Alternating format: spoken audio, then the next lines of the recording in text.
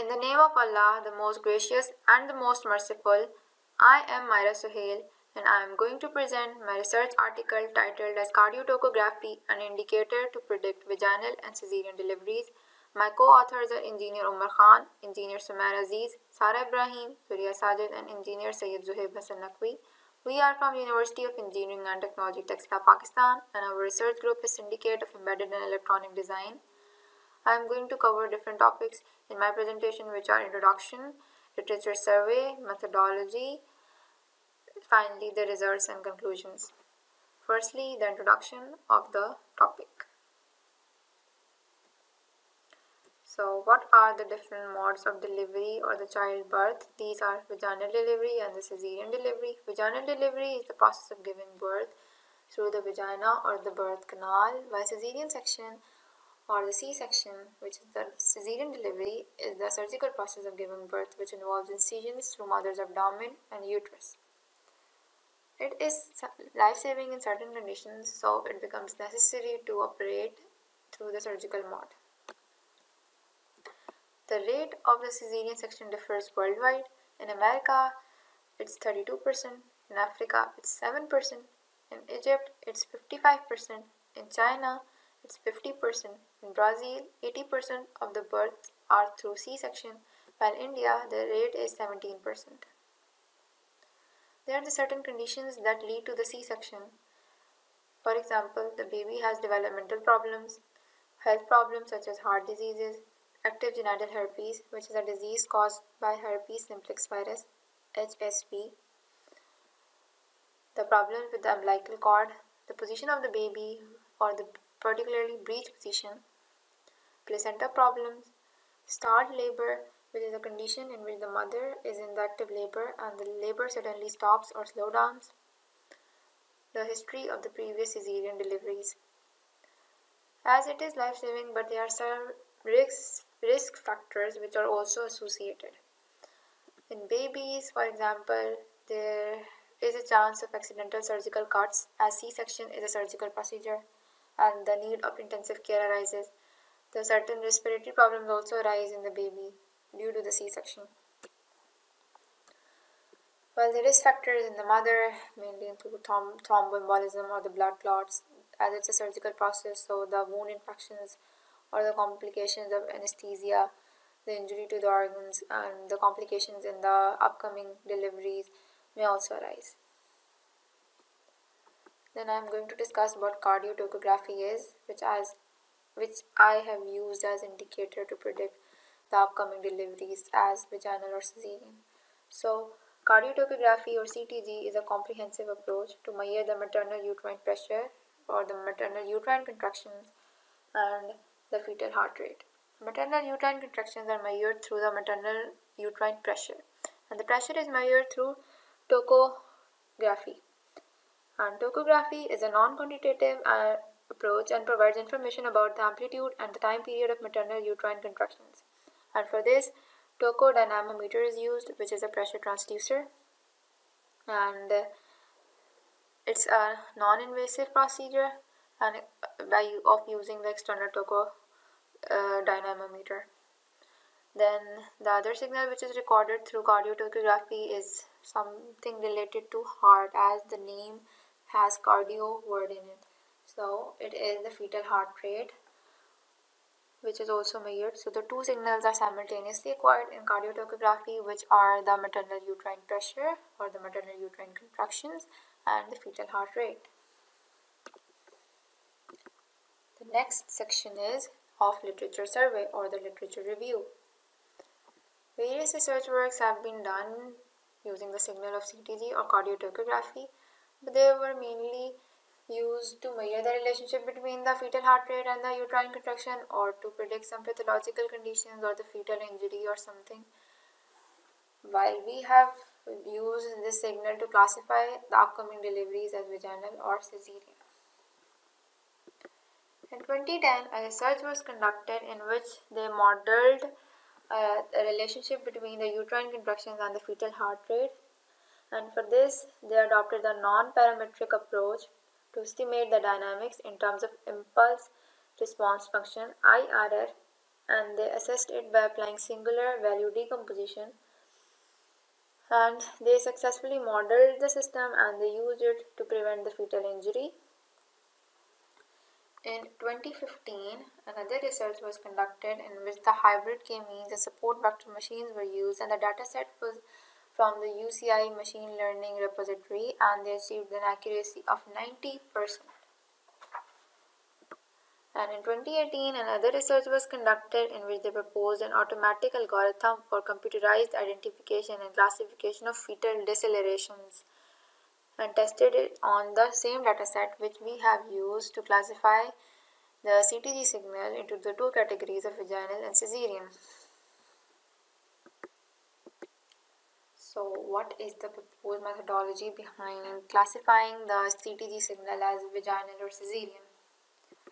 The first step is data acquisition of both the classes, vaginal and cesarean, which is the CTG data. Then next is the feature extraction from the data set and which the last step is the classification of the data into the two classes. So firstly the data acquisition. So we used a publicly available dataset from PhysioNet and the dataset was CTU CHB intrapartum cardio cardiotocography database and uh, the CTG recordings were from 552 mothers or the pregnant ladies which were pregnant with a singleton pregnancy and they have passed the 36 weeks of gestation. The sampling rate of 4 hertz is there and uh, the signal was acquired 90 minutes before the actual delivery had, that has occurred and the Total number of findings or the database signals were 506 signals from the vaginal class of the both the FHR and the uterine contractions. The FHR is the fetal heart rate and the cesarean are 46. The next step is the feature extraction. Before that I will show the time domain and the frequency domain plots of the raw signal which was acquired and the uterine contraction signal of the vaginal and cesarean delivery is shown and there are the frequency domain plots from the vaginal and the cesarean class of the uterine contractions then there are the fetal heart rate time domain plots and the frequency domain plots in of fetal heart rate The feature which was found best after experimentation is standard deviation. Standard deviation is a measure of variability, which means that when we are calculating the standard deviation, we are using it as an estimate of variability of the population from which the respective samples are drawn. So after various experimentation, we have found it as the best feature for both the categories, fetal heart rate and uterine contractions. And then the both the signals were serially concatenated and the further classification was done. And the data is balanced so we have also adopted the technique of adaptive synthetic sampling ADASYN to balance the dataset and as the cesarean section dataset was low in count so and 506 signals were from vaginal domain so after ADASYN the both the dataset were balanced and we have a total of 1012 samples, 506 from each category.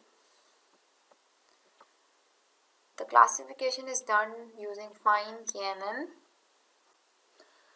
KNN is considered to be one of the very simplest to understand algorithms, yet it is one of the is the one that works incredibly in practice too. It, as it as it is a slow learning non-parametric algorithm, it makes decision based on the entire training dataset. And fine KNN is a type of KNN that identifies the k nearest neighbors of the test sample by firstly determining the small number of training samples close to the test sample. It exploits the distance based on the representation to identify and determine the KNN of the test sample from the set of training samples.